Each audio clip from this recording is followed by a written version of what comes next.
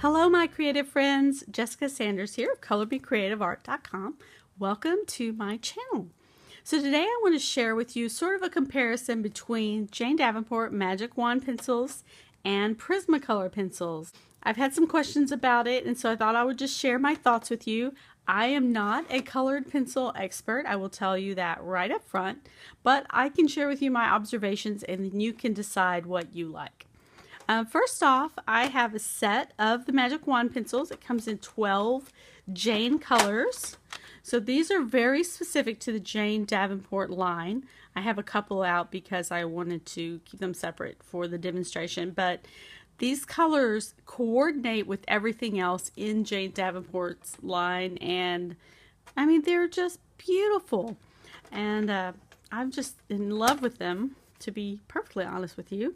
And then I have the Prismacolors. Now this is my son's set of Prismacolors. He um, uses it in his art class at school. And it is a set of 48 Prismacolors. And they have really nice colors as well. It's hard kind of to find an exact match of colors with the Jane Davenport uh, Magic Wands because these are specific colors to Jane's color palette while the Prismacolors are more just, they have all, every color, I guess, but this set in particular is 48. So there we go. And you can see he's been using it for school. That's why some are shorter and longer. I wasn't, I didn't use them. He used them. So I just want you to understand that. So Prismacolors, let's just start here, are artist quality colored pencils. They are high quality pigments for rich color saturation, soft thick cores, and a thick lead that resists breakage. Now, Prismacolors are famous for their pencils breaking, but you know, I don't know. They are very soft. It's okay if the leads break because you may value that soft core. And then Jane Davenport, it doesn't have anything on the back, but I had the packaging and I it says uh, these little wonders are not your typical colored pencils. With just a wave of your hand, create enchanting works of art with high intensity pigmentation that renders even over dried paint. So this is what we're going to kind of compare today. Jane Davenport and Prismacolor. Now let me set these aside. Okay. And I prepared sort of a, a sheet, a couple of sheets of paper. I have this, this is a vellum sheet of paper. It's what I like to use colored pencil on. And I also have drawing paper, a toned paper. So I just want to share with you a little bit and uh, about it. I've prepared different kinds of paint so we can test the pencils working over them. So let's go first to this toned paper. This is just a drawing I have, just practice drawing from the beginning of last year. Um, and I've, what I've done is I've chosen a similar color of the Prismacolor, which is uh, crimson red, compared to the Heartthrob from the Jane Davenport line. Now, if you look closely, you can see that they're really not exactly the same color. The crimson red is a bit darker, but it was the closest comparison that I could find uh, for this purposes. And so uh, I've already color swatched a few and tested these out. And you can see with both you get really good coverage. But I'm going to do it with these colors plus one of my favorite, I guess you would call it a wild card. Ma uh, a magic pencil by Koh-i-Noor.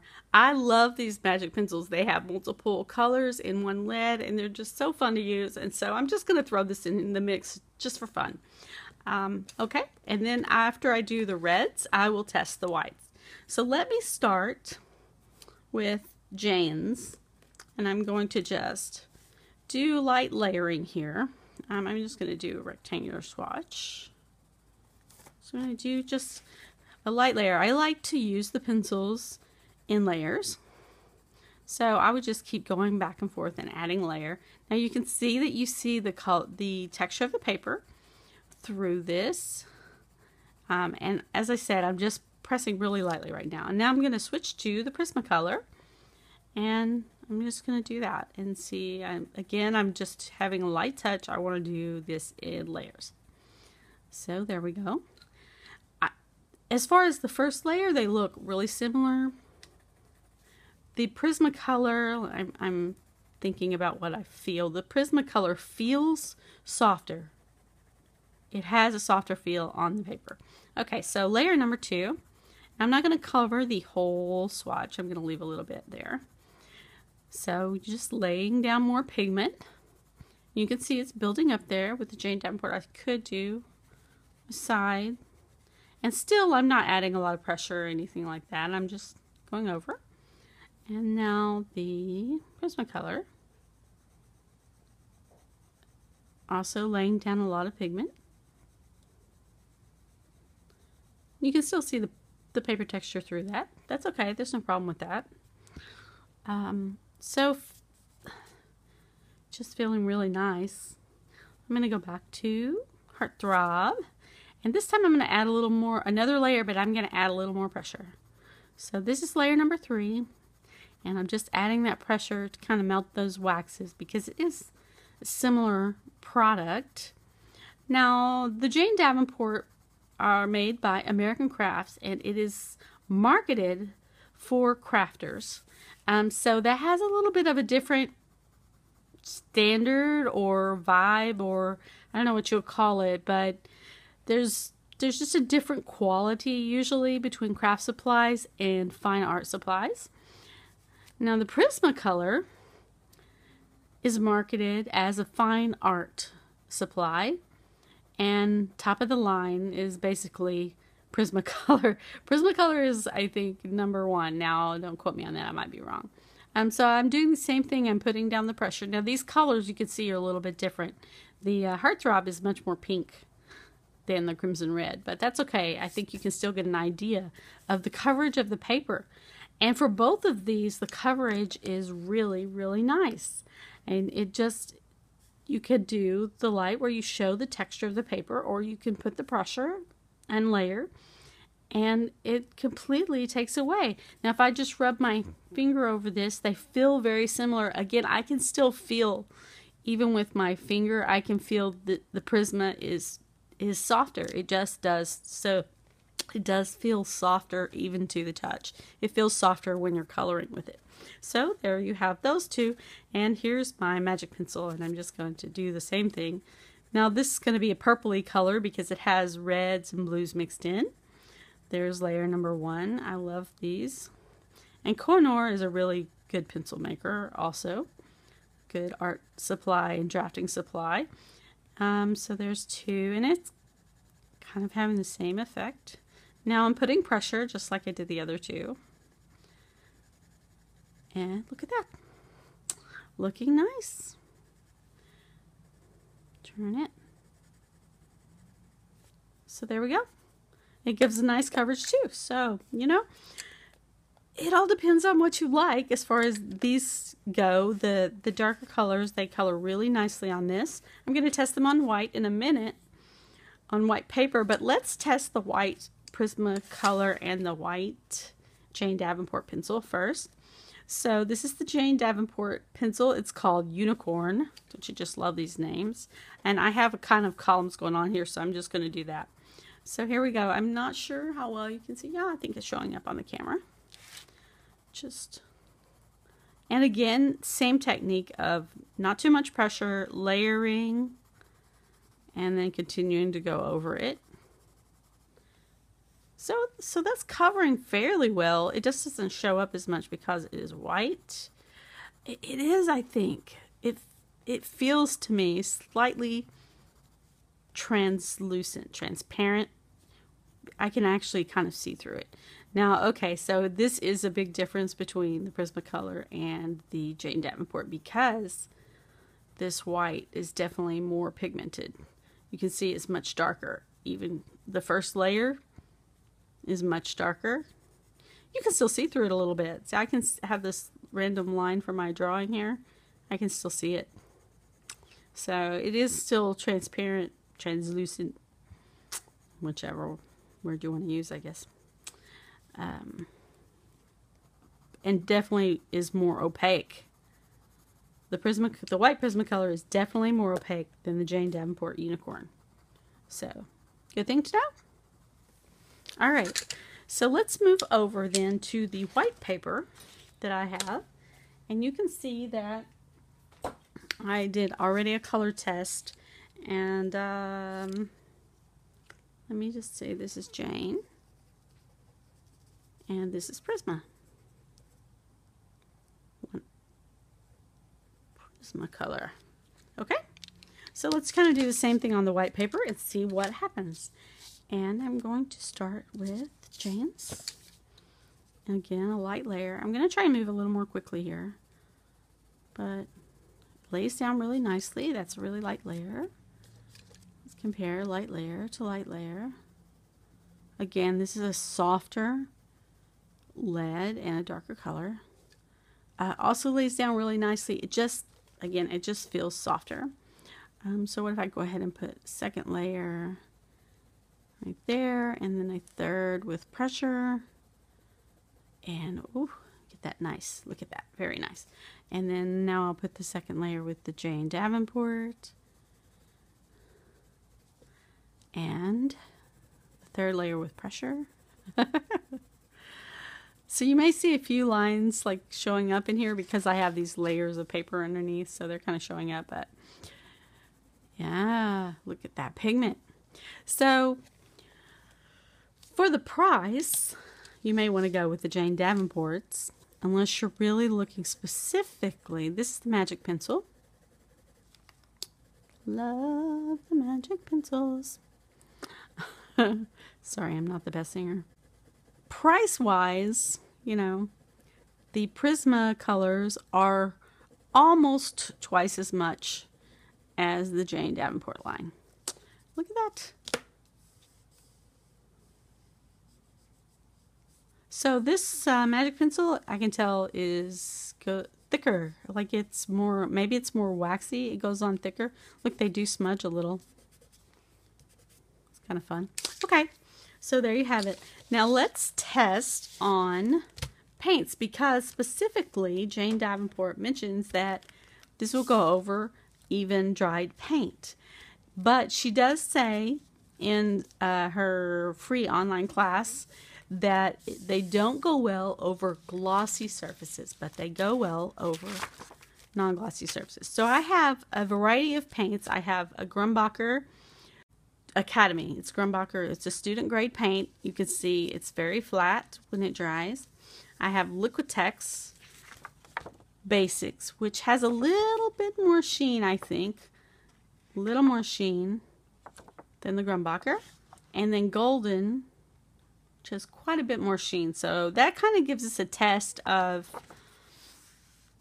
how these are going to look over this. And then I decided, well, let's just see how it looks over watercolor, the Mermaid markers, which is a dye-based ink, and um, Chameleon pens, which is an alcohol-based marker. That's a lot of fun to play with. Okay, so we're going to try the red. And I'm going to test them both. So here is the, let me, let me start with the Jane like I've been doing. Here's the Jane. Heartthrob. Don't you love those names? Okay. This is also transparent. That's just one layer. The thing is, these are all about layers, so. But it shows up pretty nicely. There we go. Okay. And then the Prismacolor Crimson Red. Let me do the same. Again, it's much softer. I, I It's not... The Jane Davenport ones are soft, but these are just, you can just feel softer. So they go on, I think, a little thicker on this paper. And shows up pretty well. Yeah. Okay. Here we go. And the magic. Why not the magic pen pencil? Yep, shows up too. So, you know, color pencils, they show up over the Grumbacher paint. And here we go again. Let's do the Liquitex and the Prismacolor. And we could layer these more to make them more opaque, but I think you get the idea. That's working just fine. Okay, and now the, back to Jane. Okay, so just like she said, it did not go well over this sort of glossy finished paint, but I, I can keep building up the layers and it would kind of work. Let's see about the Prismacolor. It does go better over the glossy paint than the Jane Davenports. But she makes it very clear that, that these don't work well over glossy paints. They're made to go over craft paint. So, and then this one doesn't go as well either. It's very transparent. So the best one over glossy would be obviously Prismacolor. There we go. Okay, um, let's just the whites. I'm pretty sure we already know what we're going to see, but let's do the whites. This is Jane Davenport. Okay, it shows up a little, not too much. Um, yeah, Prismacolor definitely more. I'm trying to use about the same pressure. Now on this bright paint, does it show up at all? Um, the Prismacolor does. And then on, we know it's not going to work on this glossy for the Janes. And the Prismacolor white doesn't really show up very well on there. I can see it a little bit, but I bet on camera you can't really see it. So it doesn't show up very well on there, but that's okay. Just this is what we're learning about here. So let me just continue with the white ones since I have them in my hands. And let's try it over this dye-based ink, and I, I don't think there'll be any problem. So you get a light transparent color there. And what about this Prismacolor? Definitely more opaque than the Unicorn from Jane Davenport. And let me just keep going. This is over watercolor. Jane Davenport's watercolor. Prismacolor is more opaque. And then over alcohol marker, which basically should ignore each other kind of thing. Um, so you can see that a little. And again, more opaque. So what I'm getting from this is that the white specifically is less opaque than the Prismacolor white. And the pencils are really the colored pigmented pencils. I'm trying to differentiate between the white and the colors. Okay, white's not really a color. That's why I'm having problem.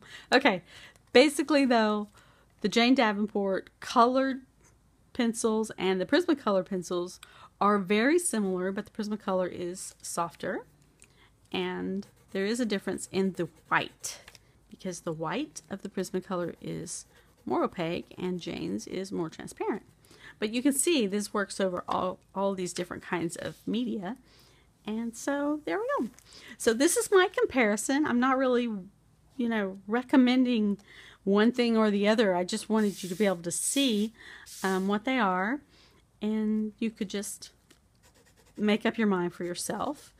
Like I said, the Prismacolors are about um, almost twice as much as the Magic Wands. Uh, and it really depends on your application and what you're looking for and what you're going to do with them. But if you want Jane's colors, these colors coordinate with the Jane Davenport line. So if you have, you know, the the Jane Davenport mermaid markers or you have the uh, Jane Davenport watercolors, these are going to coordinate with those and be the same colors. Whereas you can do the same thing with the Prismacolor if you have a bigger set than 48 but it may not be, you know, quite the same. So anyway, completely up to you. I just thought I would share my observations with you and let you know what I thought. And so there we go. Thank you so much for watching. I'm going to be back with more Jane Davenport supply sort of comparisons and tests and projects and I'm having a great time playing with these supplies and so I hope you're enjoying these videos. If you have any questions please let me know. Leave a comment below. Don't forget to subscribe if you enjoy these videos. And I will see you soon. Bye-bye, my creative friends.